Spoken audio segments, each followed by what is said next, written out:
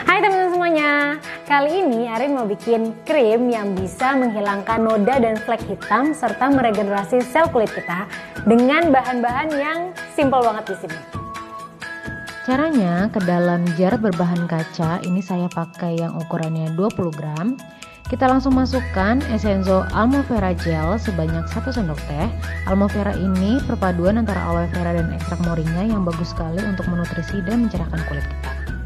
Kemudian kita tambahkan Essenzo Avocado Oil sebanyak 5 tetes, yang mana di dalam ini kaya akan kandungan antioksidan dan vitamin untuk mencerahkan kulit.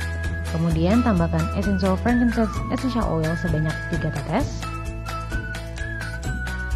Dan yang terakhir, Essenzo Lavender Essential Oil sebanyak 2 tetes.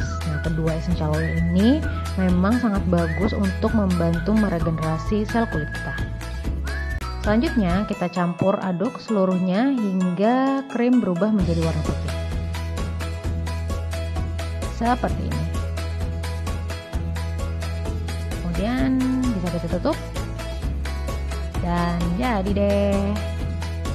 Krimnya ini kita gunakan setiap pagi dan malam hari.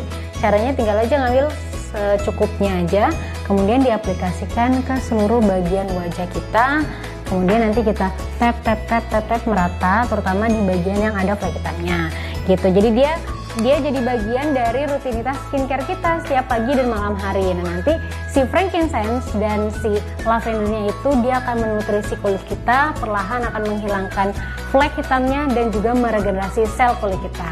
Selamat mencoba teman-teman.